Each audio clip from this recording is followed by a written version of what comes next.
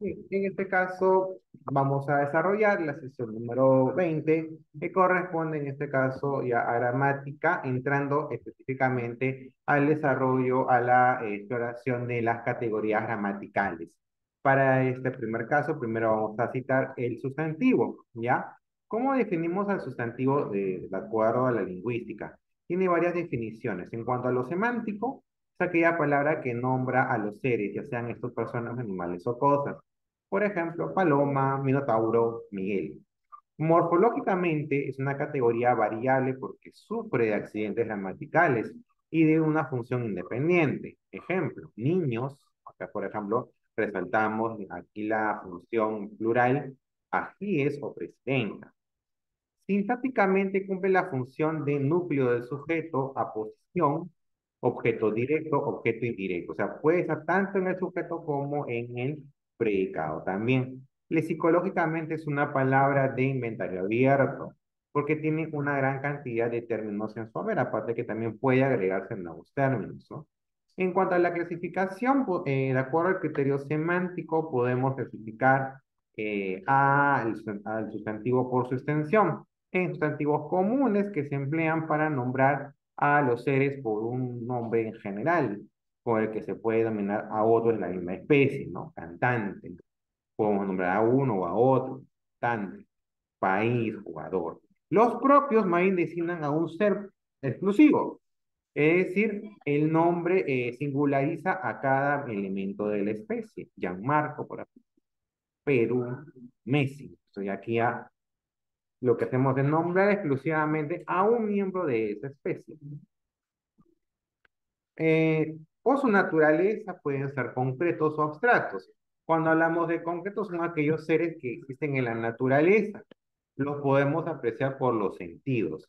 Eh, son conceptos independientes, ¿no? Por ejemplo, la silla, un golpe, el aire, el viento. En cuanto a los abstractos, son aquellos que se refieren a seres que solo existen en nuestra mente. Eh, se refieren a los seres cuya existencia es, puramente intelectual. ¿okay? Eh, se afirma que son conceptos dependientes, por ejemplo, el amor, el odio, la soledad, paz, la duda. Son conceptos, en este caso, intelectuales. Por la cantidad, en este caso tenemos sustantivos individuales, ¿no? Eh, en, en, este caso nombramos al, a, a, un objeto de manera individual, ¿no? Por ejemplo, perro, cerdo, álamo. Y en cuanto a lo colectivo, eh, se refiere más bien a un grupo de objetos semejantes. O sea, el nombre puede ser singular, sin embargo, el, en el significado estamos hablando de un grupo, un conjunto. Por ejemplo, jauría, que es en este caso un conjunto de, este, de perros. Piara, que es un conjunto de cerdos, ¿no? Y así. Cardumen, conjunto de peces, ¿ok? Entonces, esos son llamados los sustantivos colectivos. Eh, de acuerdo al criterio sintáctico, eh, los sustantivos se pueden clasificar en postestructura, sustantivo simple, que es aquí formado por una sola raíz, uñas, eh, sol, punta, entre otros. El compuesto son aquellos que están formados por más de una raíz. Corta uñas, girasol, saca puntas, ok. Ahí, por ejemplo, hay dos conceptos unidos. Las locuciones sustantivas eh, se expresan por medio de una frase. Por ejemplo, uña de gato, ¿no? La estructura de estas tres palabras, estos tres elementos, me forman la idea de la planta medicinal, ¿no? O luna de miel, ¿no? Concepto en donde en este caso las parejas, después de su casamiento, ¿no? Eh, empiezan a convivir, ¿no? Ejemplo.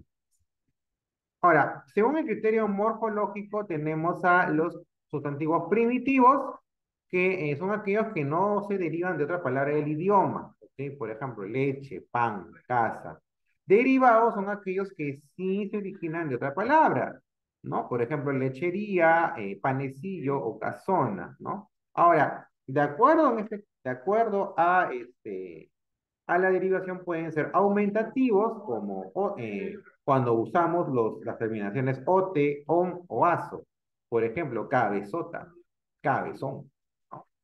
El diminutivo usamos en este caso los eh, las terminaciones ito, illo, ico, ¿no? Por ejemplo, pancito, panecillo, pancico, entre otros. En el caso de, los eh, derivados despectivos, ¿no? Eh, cuando usamos en este caso las terminaciones ucho, efo, suelo, ¿no? Por ejemplo, librucho, caballejo, ¿no? Entre otros.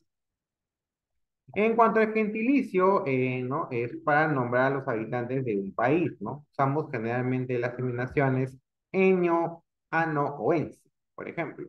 Da, eh, eh, aquel habitante de Dinamarca será danés, el de Irak será iraquí, el de Honduras, hondureño, el de Jerusalén, jerosolomitano o jerosolimitano, el de Moscú será moscovita, el de Buenos Aires será bonaerense, y así, ¿correcto? Entonces, esos serían los sustantivos más bien derivados, ¿no? Entonces, lo que vemos aquí es que los sustantivos tienen eh, primero no una sola, una concepción, sino varias, ¿no? Puede ser por, por el criterio semántico, por el, ¿no? Que es la, eh, por el significado, ¿no? Morfológico, por su estructura, ¿no? Cambiante.